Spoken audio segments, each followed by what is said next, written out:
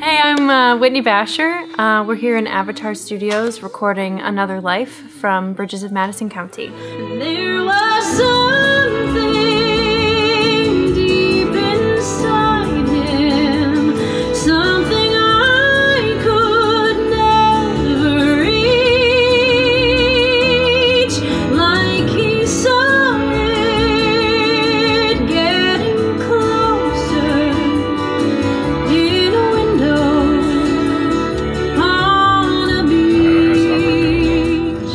So the song uh, happens in the first act, and it's sung by a character named Marian, who is uh, Robert Kincaid's uh, ex-wife.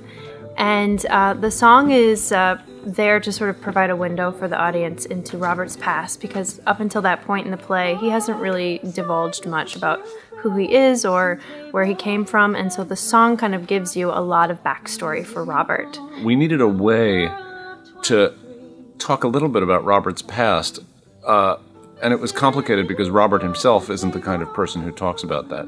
So I realized that if we had his ex wife share a little bit of what their life was together, it would tell us a lot about their marriage and it would, by, by extension, tell us a lot about Robert.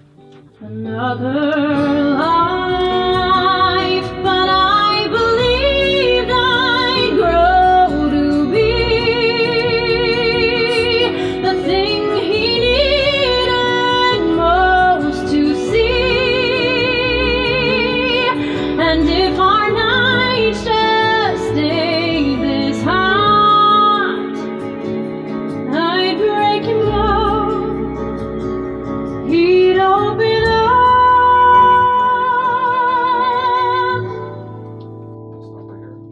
Well, obviously not.